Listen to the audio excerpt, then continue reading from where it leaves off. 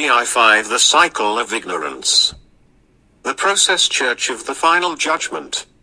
New York, August 1968 Communication to all brethren, information. What you just heard there was a recitation of the Brethren Information or BIs from a cult of massive significance called the Process Church of the Final Judgment. And that's what this and a series of Insight Analytica episodes are going to be about. So this is Interzone Analysis, and this is part one an introduction on the Process Church of the Final Judgment. Now, anybody who knows my work regarding satanic organizations and Satanism, especially regarding the Order of Nine Angles, a British occult movement that came out of Staffordshire, Oxfordshire, and Cambridge in allegedly the 1960s, but the only ever earliest evidence I have is in the 1970s. In the UK, which I have done extensive work on, well, one of the reasons I found the Order of Nine Angles so interesting is they reminded me so much of a British cult that has major influence called the Process Church of the Final Judgment, which were the Order of Nine Angles before the Order of Nine Angles. I they even were in the same area of operation of the early Order of Nine Angles or O9A ONA members, and I contacted contacts of mine whom were around from the earliest period in the history of the ONA and asked them if they had any crossing with the process. And as usual, given the enigmatic nature of the ONA, they didn't confirm or deny that statement and allowed me to. They're going to take that to the grave, essentially. However, the process. I've been interested in the process Church of the Final Judgment for at least more than 10 years, going through all their material, and if there was any cult I was ever going to join, it was the process. Now, they operated from the UK in the 1960s all the way until around 1979 in America. They are uh, so influential that and and nobody knows about them these days. Every major famous person, be it infamous or famous, cross paths with the process at some point during the 60s and 70s, um, including Mick Jagger in the early 60s, mid 60s. I'll, I'll, go into this. Um, he he was in one of their process magazines. Also, naturally, um, people don't know, but David Bowie uh, is another person that was associated with the process, Church of the Final Judgment. However, they were mostly his coke dealers. Roman Polanski is another person inadvertently associated with the process. So is Charles Manson and the Manson family, who conspiracy on the process now Church of the Final Judgment theorists like to connect Manson with the process. But he is connected and I'll go into this later, I'm not coming at this from a conspiratorial angle, and I'm not coming at this from a defensive angle either.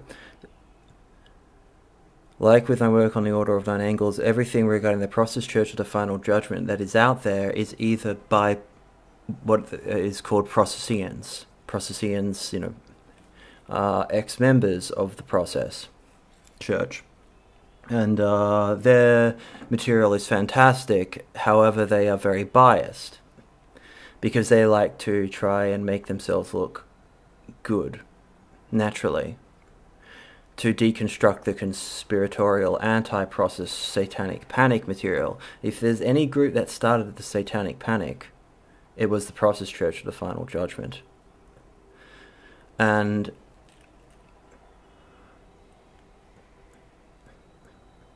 like with the ONA in the UK and the ONA in America, any occult group, any cult splinters off into multiple different cells and fractions that the core people end up losing control over.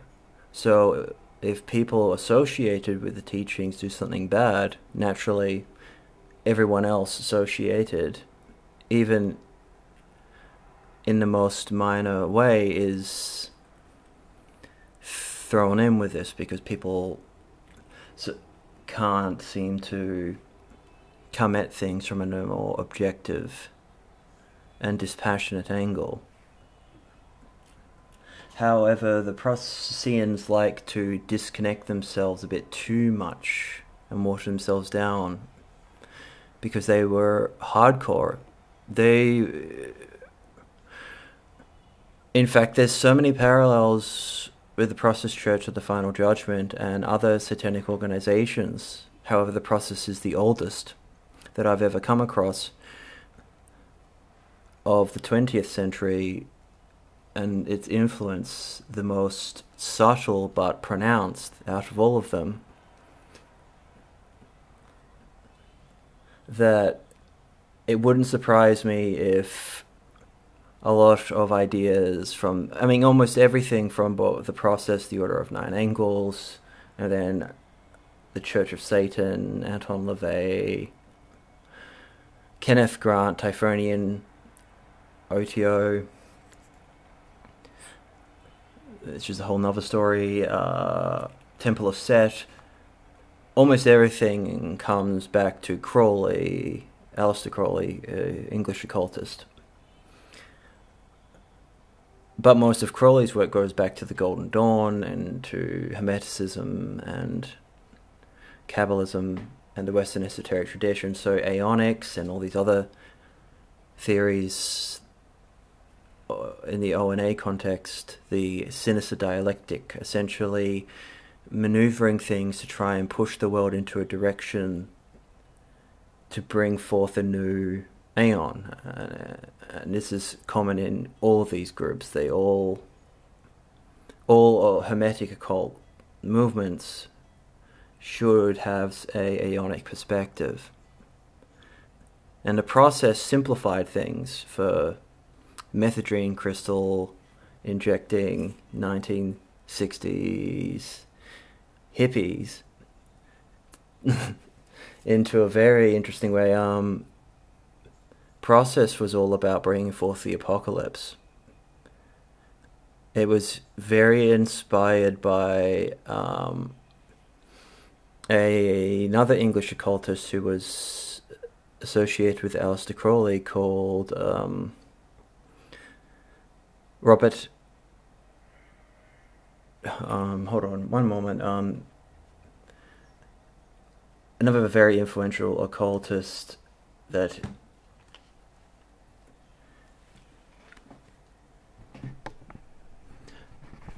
Austin Osman Spare um, born between in the late 1800s, died in 1956.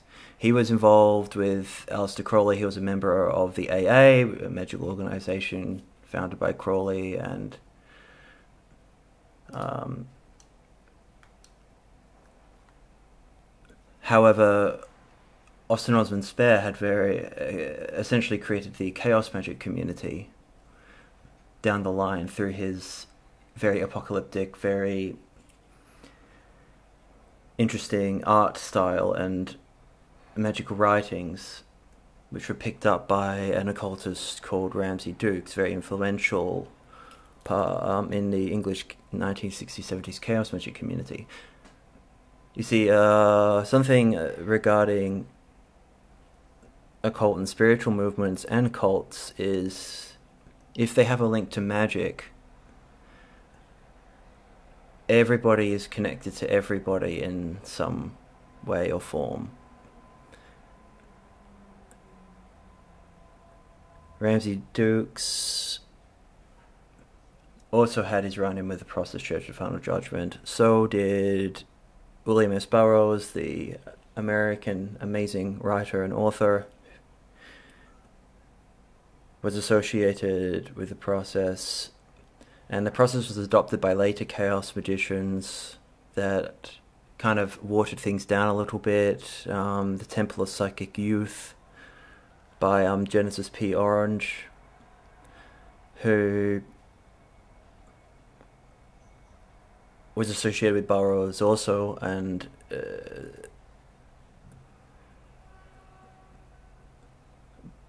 but I and um, did a lot of very interesting things in the 90s, especially, and revitalized the process in a sense. However, they still watered things down. Now, this all began with Scientology. The Process Church of the Final Judgment was founded under a different name. Essentially, there was a it was a British established a British cult. However, the history is um, two people who called themselves the Omega when they were process. Um, an English couple, Mary Ann MacLean from Edinburgh, Scotland, and Robert de Grimston, whom uh, birth name was uh, also known as Robert Moore, who was born in Shanghai, China. However, his name was changed to have more occult significance. Anyway, they were both Scientologists, and in the 60s, every brilliant person jumped into Scientology, including William S. Burroughs, who was involved in Scientology for more than 10 years. He was cleared, meaning he went through years of auditing. Auditing using e meters, and, and, and Burroughs went to war with L. Ron Hubbard, but that's a whole other story. Um, so to give a bit of a timeline, now Scientology and L. Ron Hubbard, and what most of Scientology came from the Order Templi Orientis, which of course is an organization associated with Aleister Crowley. Everything splits off from everything. It's very interesting. So to give a bit of a timeline of the Process Church, the two most important figures are Mary and oh, okay, so she wasn't born in Edinburgh, she was born in Glasgow, Scotland. Robert de Grimston or Robert Moore, born in Shanghai, China, in 1935. So she was three years to four years older than him. Now they were known together as the Omega in the cult. Now, 1954 to 58, Robert serves military duty with the King's Royal Hussars. Then he starts a architectural course at the Regent Street Polytechnic in London. And this is where someone else important associated with the process, Timothy Wyllie, who wrote a book, a very good book, very biased, but very good on the process. Um, he meets Robert at college Robert Grimston from 1958 to 62 goes through his first marriage. Then his younger brother in 1960 undergoes Dianetics therapy, so Scientology. Mary Ann joined Scientology in 1961 quickly becoming an auditor. Okay, so Marianne MacLean was essentially involved in a prostitution ring scandal. She was a high end escort, from what I know, before joining the Church of Scientology. And it makes a lot of sense. Uh, this is the thing getting information on this that's accurate is quite difficult because the hysteria involved in the process is absolutely ridiculous. And also, the um, processians like to. They're very, very English they like to limit the more unsavory elements of their. There's nothing unsavory about being an escort. Um, she definitely was an escort. She used her um, history and sex work to really um, socially engineer things. It's it's quite amazing. Anyway, back back to the timeline, it's very important. So uh, she joined Scientology in 1961 and very quickly becomes an auditor. Auditors use the e-meters, the the um, essentially lie detectors that are, are, are, simplified lie detectors that would be extremely useful. I'd love to own a, a e-meter purely for the purposes of self I mean, yeah, this this is the one thing Scientology does have going for it very well back in the day, especially, and why a lot of people got involved. The e-meter is a fucking genius device to enable yourself to, and others, to break through certain blockages, so trauma. And auditors were spe- uh, specialists with the e-meter in interrogation, essentially because in Scientology, you don't just, and this is very important for understanding the process and why they are so effective and influential. You are using interrogation techniques in the same way that somebody involved in human intelligence uses interrogation techniques. Except you've got them hooked up to a lie detector and they think they're there for a spiritual thing, which they are to get through trauma, but all this is recorded, of course, and then you are uh, able to be utilized later to blackmail the individual. And all, but they don't just go through blockages in this life; they they go through blockages in past life, too. To become clear, you have to go through everything. And having that device and having a room where somebody is, yeah, pick good auditors are you are absolutely using and L. Ron Hubbard was in the Navy and, and U.S. intelligence, most of it came out of the OSS, and a lot of the clandestine operation came out of post World War II U.S. naval intelligence a lot of intelligence tradecraft in the US at least came out of. It's a very interesting history, and Hubbard is the man that needs more credit given to him because what he created is absolutely genius and so Robert quits architectural college after 3 years where he joins Scientology in 62 and meets Marianne and then they both quit Scientology in 1963. Now, why they quit is they they very quickly they the Robert and and Marianne. Robert was a very cerebral man, very intellectual and didn't ha- he he was he was very charismatic, but he was uh, extremely charismatic. But he he was very existential and and kind of austere and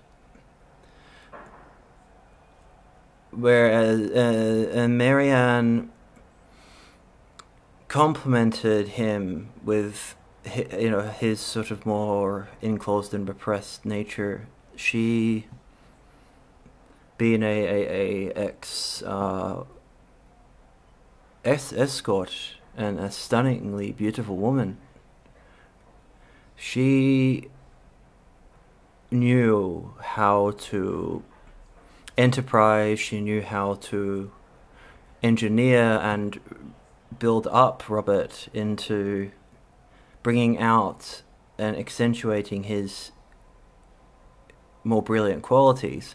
And and he was not somebody that liked the limelight particularly.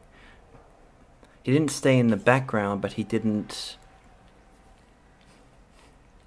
search for fame. He wasn't a narcissistic personality, sexually inadequate male um, type that you usually get that run the cults, like the majority of Christian cults that branch out of Mormon, sorry, Mormon, Mormonism in America that have a lot of pedophilia you know, and all, all, all these very inadequate types, to use FBI profiling language. They, De Grimston, he was nothing like the typical cult leader. He was not even like Anton LaVey, who was a great entertainer, but he was not uncharismatic. It's just he didn't she knew how to really build him up and they complemented each other brilliantly and they had this equality of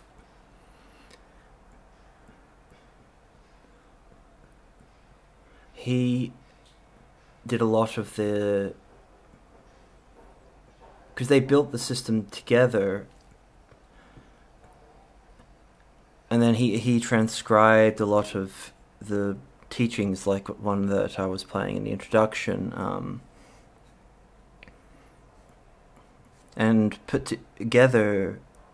Uh, while she put together the the more practical elements of things, it was.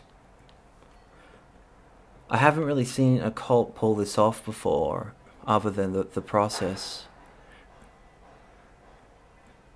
and this started uh, yeah so so what they did is they were using the e-meters within scientology and they went away from L. Ron Hubbard's methods of auditing each other and started bringing more spiritual matters onto the table and as they were auditing each other they were starting to bring in concepts of god and satan and Christ, a lot of uh, yeah, and this, of course, once it was found out, um, what they did is before completely quitting, they took their e meters because they and they started to experiment with Timothy Wyllie, who I mentioned earlier, as a guinea pig for therapy sessions with both of them. Because uh, of course once you start working on each other you need to then bring someone else in to test it out see if it works. And he accepted. This is in 1963 now in 1966 robert and mary conducted therapy sessions to and formalized their activities under the names compulsions analysis. This is the beginning of the process church of the final judgment. Now they were using e-meters still and um, when things start getting very interesting was in 1964 when Robert and Marianne set up their business in their um, Wigmore Street apartment in London, and then L. Ron Hubbard in 65 um, declares both Robert de Grimston and Mary Ann as suppressive persons for their innovative use of the e-meter. So they they if anybody's seen Going Clear, which is an incredibly biased, but at the same time shows what Scient what Scientology what happens if you label NSP in Scientology. It's not a good time. So L. Ron Hubbard himself um, yeah, and so they, they continued with their clients in compulsions analysis, recognizing a shared sense of spirituality. Compulsions analysis becomes the process as a consequence. Robert sheds his surname and becomes Robert de Grimston, which was an idea by um, Marianne. As she she she started to sort of engineer him into this growing his hair longer and uh, sort of a goatee into this more charismatic dark figure. And she she did so brilliantly. Now in 66 the process establishes heads, headquarters at 2 Balfour Place in London's upscale Mayfair district. And the process becomes a community now, this is where they started meeting a lot of influential people. I'm talking about the Rolling Stones, because they would have these open sessions in during this period in, in Mayfair in '66, and this is right. And so, so you know, the Rolling Stones. It, Mick Jagger is in one of the Process magazines. Because they met they met everyone and they would wear these sort of black robes and the chaos magician who and, and a lot of the art in, in, in, in this is very inspired by um, um, Austin Osman Spare and Ramsey Dukes, a very prominent chaos magician, he um, showed up in Mayfair in the 60s to try and get in. And he had to run in with, uh, and um, no one was there. So he showed up another time, and there was a processian in their black robes and the four, the very swastika looking symbol that they use, but it represents different archetypes that they use in their analysis. And he he uh, he told them, "Where were you? You were meant to be here, you know, last week." Or and the processian said to uh, to Ramsey Dukes um, that you know um, maybe maybe in your reality, and then shut it down.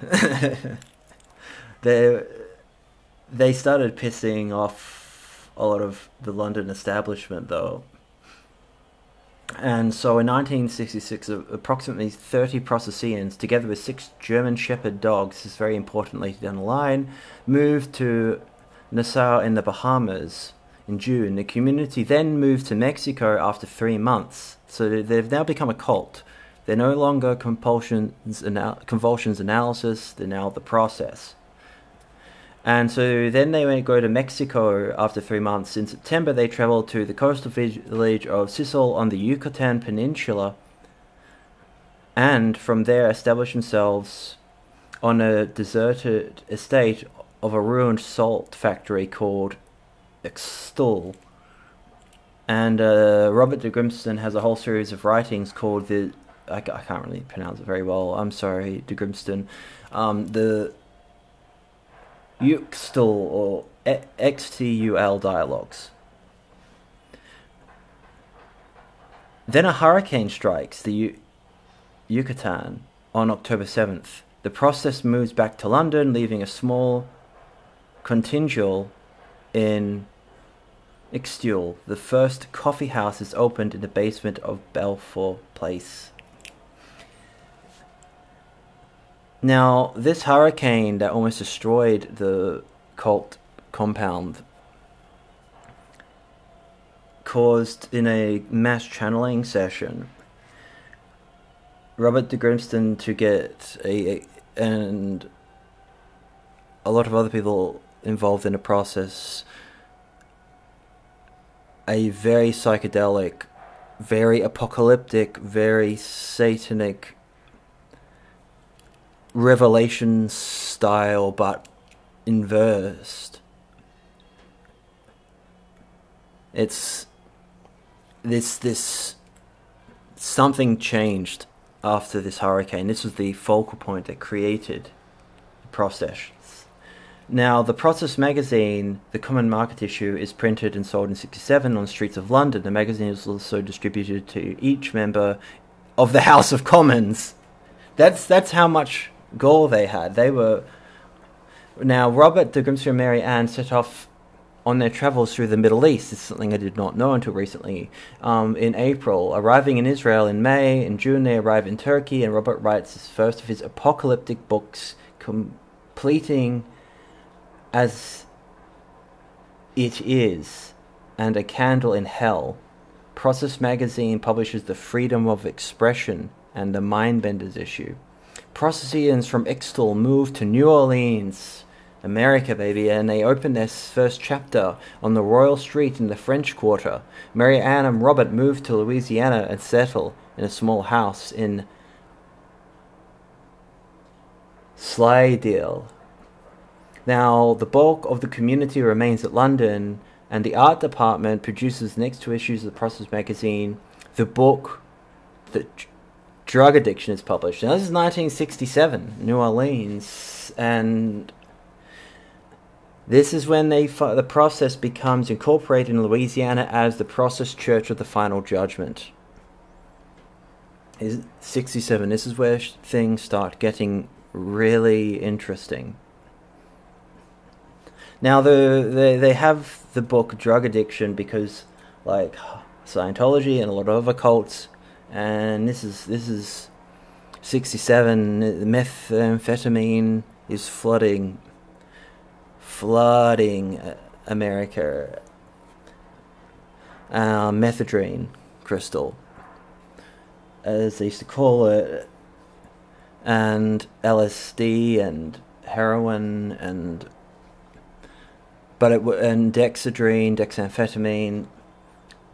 But amphetamines fueled the 60s. It fueled the music. It fueled the counterculture.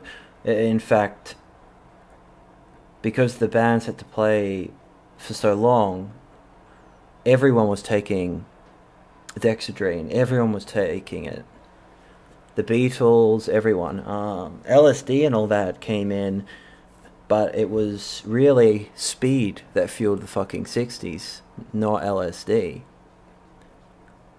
And in particular, methadone. So they get in they're bringing in a lot of drug addicts, getting them clean. They're doing a lot of tricks that Scientology liked to pull off. Now that they're the final judgment, they open in 67 their first chapter in San Francisco in December. The New Orleans chapter is closed and the community moves briefly to Los Angeles in February. This is extremely important. During this period, in 67, 68, of course, this is Manson family. This is where Roman Polanski, Sharon Tate, you got fucking, um, you know, David Bowie. Now, they, they didn't just publish the book Drug Addiction, they wanted to bring drug addicts in because cocaine in that time period too was becoming very very big.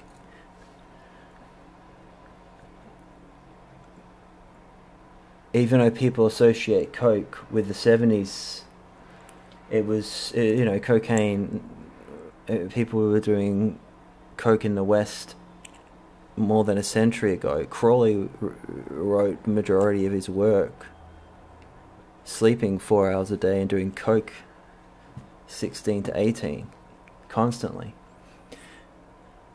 And so they were selling drugs to Processians were selling coke, they were selling meth, adrene, and and were selling them to celebrities. Quaaludes too, another big one. Barbiturates, Nembutal, Luminal. So now that they're in San Francisco, they've got all these junkies and then you've got David Bowie doing using the Goetia snorting coke, creating his personality, fractured actor. because his entire personality fractured during that period because of coke psychosis and goetic rituals he was doing.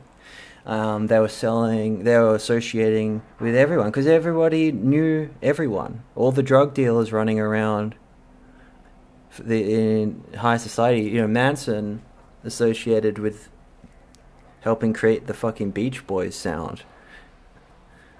Manson was also Scientology. He was cleared in Scientology. Manson is always considered to be associated with the process by conspiracy theorists. Now, the process like to say that they had nothing to do with Manson. They, uh, the interview with Manson was done after blah blah blah. But Manson came from the same circles uh, with regards to Scientology. There's a connection with because during this period, the amount of murders going on within Scientology in uh, after the Manson family shit went down was insane. In I'm talking about 250 Scientologists were killed in um, in California in just a very short period after Manson was um, after the yeah LaBianca uh, Sharon Tate murder.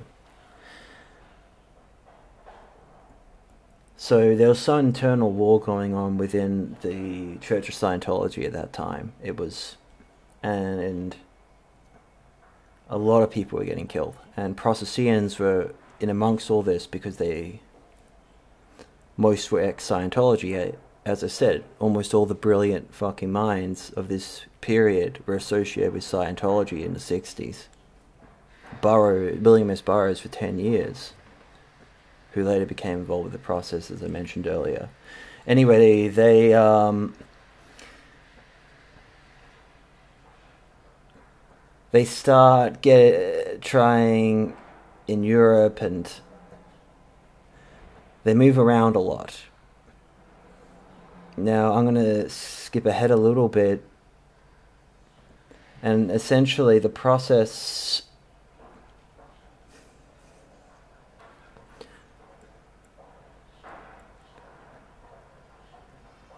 they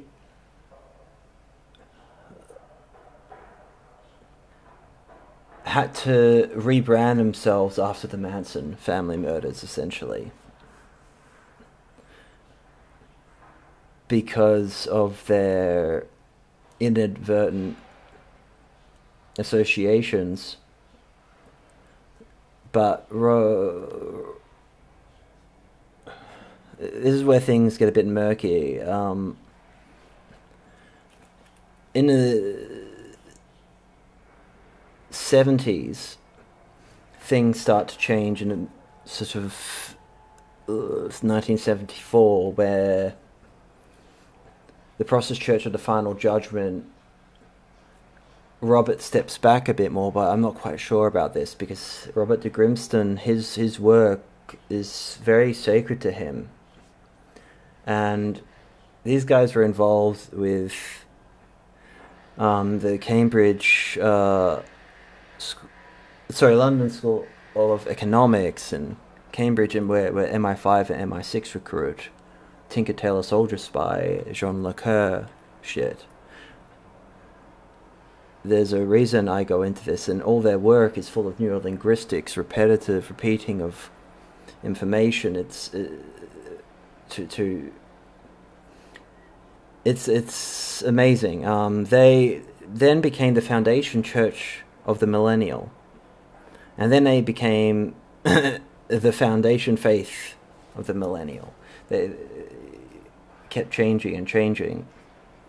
However, where things start getting interesting is not that. Uh, essentially, they to make to simplify things, a lot moved to New York, and then a certain event happened that made everything and got me interested in the process, um, which is of course the Son of Sam killings. David Berkowitz, 44 caliber killer, son of Sam. He motive misogyny. No, the mo- he, he he outright says the motive. It was to. It was um, human sacrifice to bring forth, to speed up the apocalypse. Yet the process, Church of the Final Judgment, were all about aeonics. They were all about uh, the unification of Christ and Satan. Now, Berkowitz, he held the city hostage from around 1975 to 77 technically. There's a, a, few other things associated with Berkowitz people don't really know but where the Son of Sam stuff really kicked off was uh, 77 and it was dispassionate they just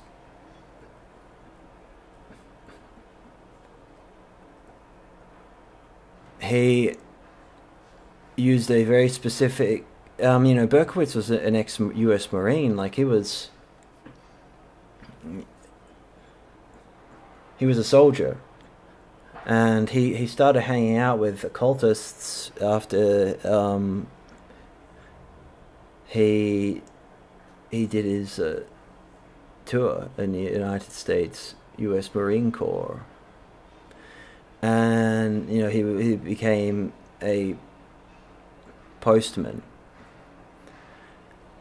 and he he was lonely. He uh, had absolutely no friends. He was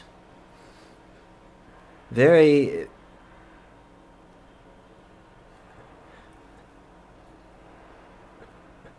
and he hung out in a place called Yonkers, where a investigative journalist called Maury Terry grew up. And this is where I found out about the process, which is um, when Maury Terry interviewed David Berkowitz, I believe in the 90s. I've had arguments with so many people about the process and Son of Sam. Now, there's a Netflix documentary about the search for the Sons of Sam by a director, Joshua Zeman, who starts off doing a very good job and then becomes a complete prick and discredits everything Maury Terry has done over being wrong about the motive of one thing, even though he was right about so much. Like more, um, it's a shame because they they could have done a fantastic job. It's a absolutely for me the documentary is worth it's worth watching the Netflix documentary series The Sons of Sam because but the the people they bring in are absolutely useless the the occult experts and all these dickheads and the these condescending pricks It's a shame that a, a different director wasn't involved in this and different writer. However, one good thing came out of the Netflix documentary, and that is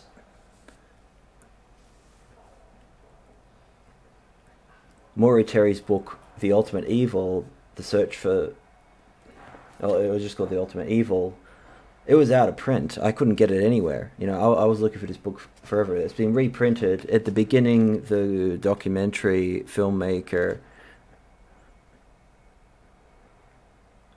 he writes the most absolutely disgusting introduction I have ever read at the beginning of a book written by a dead man who actually put everything in to try and find the truth in the Son of Sam David Berkowitz serial killings. And the even though Maury Terry inevitably inadvertently created the satanic panic of the 80s he was not a tabloid sensationalist Maury Terry was a very very interesting man who diet was coffee and cigarettes and running around with satanic Scientologists and trying to uh, uh, doing my investigation into the Order of Nine Angles had a lot of um, interesting parallels with Maury Terry's work. I sometimes felt like Maury Terry running around New York, chasing after the children and the, the different groups associated with the Son of Sam killings. getting led into all these different directions trying to find out what's going on. And sadly, because credibility is everything these days, if you're if you the thing is though, any with with journalism these days, especially investigative journalism or analytical journalism, if you're not part of the establishment the establishment is going to treat you like absolute shit. If you are part of the establishment, you're going to get no contacts because nobody in the underground is involved in terrorism, involved in neo Nazis, involved in Satanism. I'm talking about involved in, you know, and, you know, pr- child prostitution rings, all kinds of shit, snuff films, because they, they, they, they there was a lot going on, a lot going on in this period. It was an absolute turmoil, and the process were involved in all of it, just like they were everywhere they, they went, because they knew all the drug dealers. They knew they brought them in. But you can't control what small groups of people do with your ideas and methodologies technically, under the Australian counter-terrorism laws, if anyone is radicalized by my work, i.e., if your intention is to help people or give information that is useful, and in uh, and or if your intention is to de-escalate or de-accelerationist in extremist movements towards more how should I put this uh, socially positive outcomes for the individuals involved to not do s- stupid things to get more information on what is how to avoid manipulation and control by agent provocateurs and infiltrators to step away from the more sensational, stupid elements of things and into what the belief systems are really about. If somebody essentially watches one of my videos and goes, oh, they've got a good point, but you know, then goes and kills someone, I can be charged with recklessness and uh, a 20 year prison sentence. My lawyers, because of the Australian counterterrorism laws, uh, I, I, I refer to them as the, the four pillars of the CT laws, a reference to the five pillars of Islam that I have to follow, like a good Muslim should follow the five pillars. I have to follow the four pillars of the Australian CT laws. Because even if an organization isn't designated as a terrorist organization, although the ONA is going through Parliament to be one, or has been for the past couple of years, say in the UK, you can be, and it's not paranoia, it's just something you have to deal with, arrested for national security purposes, disappeared with no one being contacted for 72 hours where no lawyer is even allowed, and charged with terrorism for something stupid somebody does even if it has even if the only connection is, is they uh, subscribe to you on YouTube, they can use that as a means to charge you, even though it's stupid and there's a lot of ways to get around that. Because unless they directly name you, but it's ridiculous. But you have no protection, and so mainstream journalists nobody will talk to them. They can't get good contacts. That's why they're rubbish because they all, all they want to do is expose. So the only people that get interviews that get communications with people in the background are people like Maury Terry and myself, people who are not part of the establishment. Because well, we have no protection. We're not here to, we're just trying to work out what's going on. And if you have a track record of not fucking people over, generally you do okay. So you're never going to be taken seriously by the establishment. That's why they try and. So you might hear about the process, or if you have, in the Ultimate Evil, in the Netflix documentary, but that's just as biased as watching a Processian documentary if in fact the Processian documentary on YouTube, I highly recommend it, is far more, far less biased, even though they disconnect themselves from the Manson and the process. Sorry, and Manson and Berkowitz. Anyway, the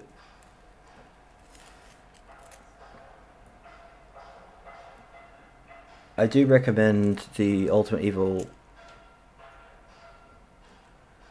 because these groups did exist and did function during this period and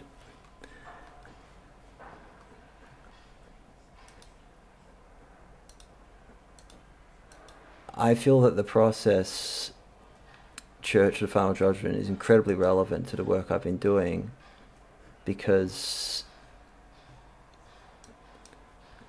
it is literally the before I knew the ONA even existed, I've gone through all of their material. It's fantastic. So essentially, the process, the main symbol is pretty much a swastika, but it's it's it's the the belief system, which is what I'm going to go into in the, in the next podcast.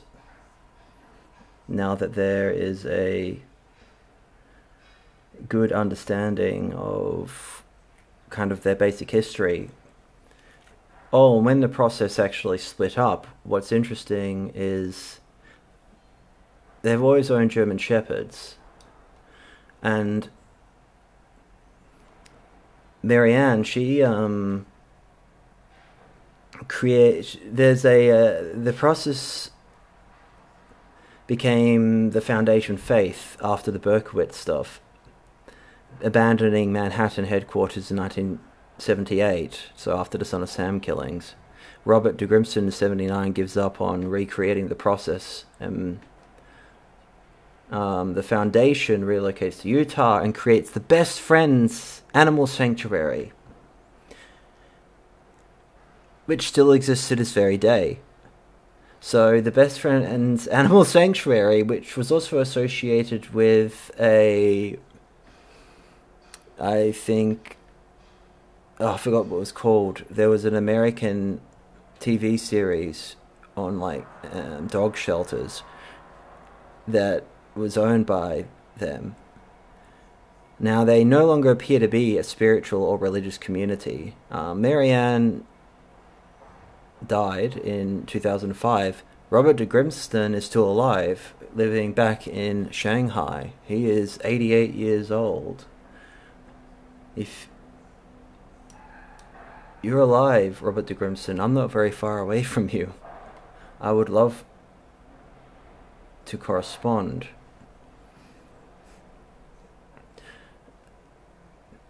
So, the process are extremely relevant because, like the Order of Nine Angles and other groups and different and far right groups like the Atomwaffen Division, neo Nazi groups, during a time of flower power and everything, and you know, the process of going around talking about bringing on the apocalypse to hasten a new aeon through magical and through the unification of Christ and Satan, because they held that God is made of four separate parts equally worthy of worship Jehovah, Christ, Lucifer, and Satan. And that's why there's the swastika like symbol that they use representing these forces, and that a person must worship all four in succession to gain enlightenment. That's a bad quote. It everybody has a separate with these archetypes they use. So Lucifer, Jehovah, and Satan. They are three paths and each individual has an association with Lucifer or Jehovah or Satan a bit more than the other. And so the point is using these archetypes, which are real and not real at the same time, is to um is essentially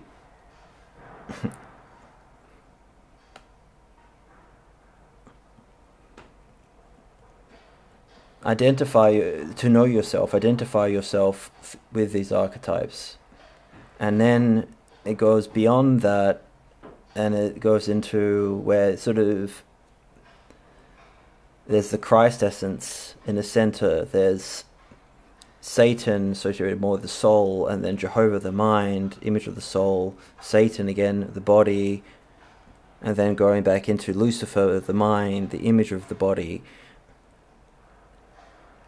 I will go in the next podcast into processing and material because I've got all of it. I've, I love it. I played some of it, which was sounds very sinister with the computer voice reading it out, but um, at the very beginning. But they saw what was going on, and unlike the hippies, they took an active role in doing what doing aeonics. They wanted to speed up the apocalypse that they saw was coming, and then in the remnants of the ruin, that's why it's this is the final judgment to then rebuild. So essentially, uh, Um, a, a more extreme and apocalyptic language version of a lot of Order of Nine Angles original manuscripts from the 1970s and 80s, which is why I'm still pissed off certain contacts that I know had some connection to the process. As conspiratorial as that sounds, with the Order of Nine Angles in the UK, there's a lot of similarities the sinister dialectic and with process, but the process is far more overt back then and far more established and Jehovah's archetype was is uh, people who are very authoritarian. What's right is right, and then there's the more Luciferian, aesthetically inclined uh, uh, people that are very more uh, artistic, but also can be quite vain and. Exit chapter 2 BI 5 The Cycle of Ignorance goes into a lot of the issues of the Luciferian elements of the personality construct that people fall into, the cycles, go around in circles people who are more Satan orientated, associated with violence and you you're meant to embrace who you are. If you are and and explore this. If you're a th- uh, and they did all kinds of things. They experimented with channeling, narcotics, magic, fucking e meters and Scientology methods, neurolinguistic programming. Robert de Grimston's writings and works are essentially will repeat the same message over and over again, word for word in some element in some parts. And you got to remember, this is back in the 60s. People weren't as bombarded with neurolinguistic programming and with social engineering to this extent of overt in in such an overt nature and in the ruin of the civilization so the Son of Sam connection, the Manson connection, you know, Helter Skelter, uh, it's all very Processian, but taken very literally. Now, I'd have to talk to De Grimston. I'd have to talk to, if he's still alive, Timothy Wyllie. If if some elements the splintered off from different chapters of Processian groups took things in too much of a Satan direction or, and started killing in order to because the, the, the, the process connection with Manson was meant to be that oh De Grimston is the real person behind Manson or Manson is the real head of the process which is not true Manson's just Manson De Grimston is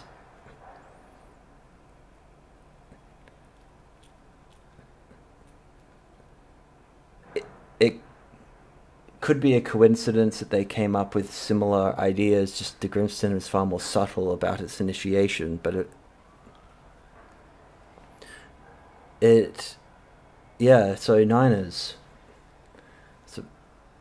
People who don't know, uh, people in the order of nine angles, um, refer themselves as Niners a lot. The, these guys really focused on the sinister dialectic. anyway, this is Interzone Analysis Insight Analytica episode 3 the Process Church of the Final Judgment and Introduction Part 1. I am not saying that the process is behind all of this, but things get hijacked and people do things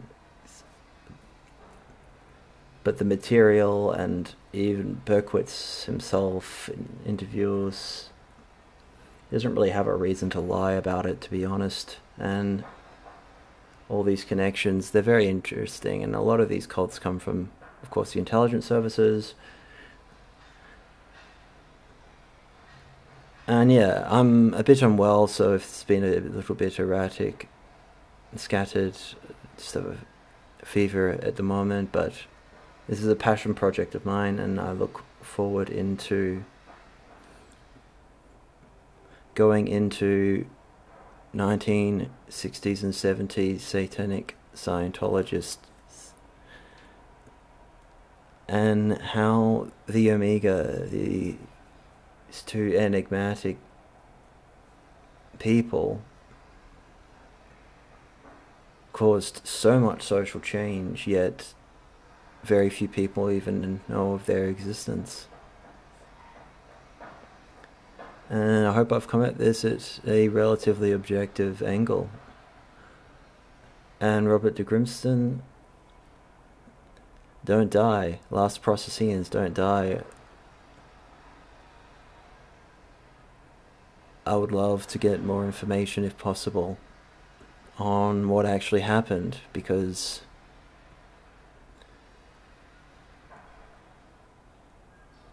this is really the last chance any of you will have to ever do so. So take care. Regards, I A.